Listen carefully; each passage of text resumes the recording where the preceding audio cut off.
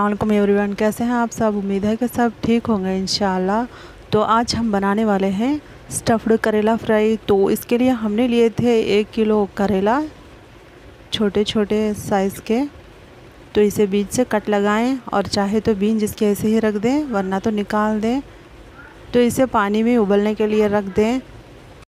दो से तीन मिनट तक जब तक ये नरम नहीं हो जाता, तब तक इसे उबालना है। तो पहले इसमें डालेंगे हम हल्दी पाउडर, एक टीस्पून। उसके बाद नमक, थोड़ा टेस्ट के अकॉर्डिंग नमक, ज़्यादा नमक नहीं डालें। तो इसे उबलने के लिए छोड़ दें दो से तीन मिनट। इसके बाद हम इस तरह से इसे ड्रेन कर देंगे वाटर को। तो हाफ़ कप गार्लिक हमने छील लिया है लहसुन। उसके बाद एक कप नारियल, सूखा नारियल, इसे हमें ग्राइंड करेंगे तो इसमें ऐड करेंगे वन टीस्पून हल्दी पाउडर इसके बाद नमक टेस्ट के अकॉर्डिंग तो इसके बाद हम डालेंगे डेढ़ से दो टेबलस्पून लाल मिर्च पाउडर धनिया पाउडर दो टेबलस्पून तो इन सारी चीज़ों को अच्छे से ग्राइंड करें। इसके बाद इसमें डालें लहसुन।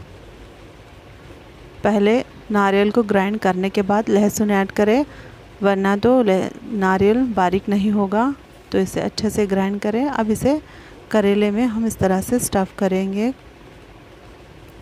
इस तरह से भरेंगे करेले में। इसके बाद इसे अच्छे से प्रेस करें। सारे करेले जो है इसी तरह से भर के रख लें।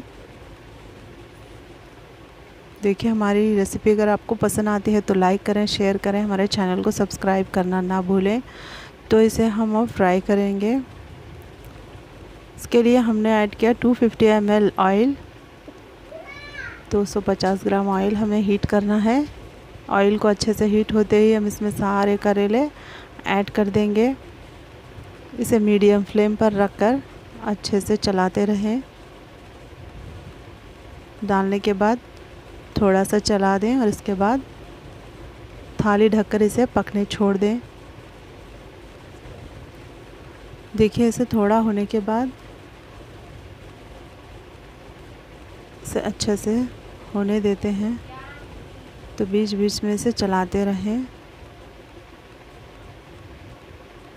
पंद्रह से बीस मिनट इसे लो टू मीडियम फ्लेम पर रख कर बनाएँ। तो बचा हुआ ये नारियल का जो मिक्सचर था, इसे भी हम इसमें ऐड कर देंगे।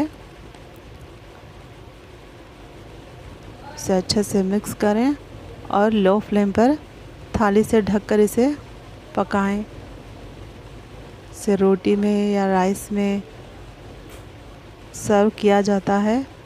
उम्मीद है कि हमारी रेसिपी आपको ज़रूर पसंद आई होगी। तो चलिए पाँच से दस मिनट इसे ऐसे ही लो फ्लेम पर छोड़ दें, इसके बाद स्टव को ऑफ़ कर दें।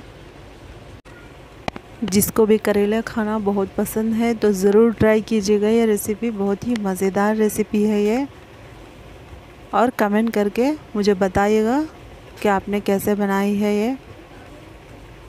उम्मीद करती हूँ कि आपको ये रेसिपी ज़रूर पसंद आई होगी इन तो चलिए, फिर मिलते हैं एक नई रेसिपी के साथ। तब तक के लिए हमें दुआओं में याद रखें, अपना ख्याल रखें।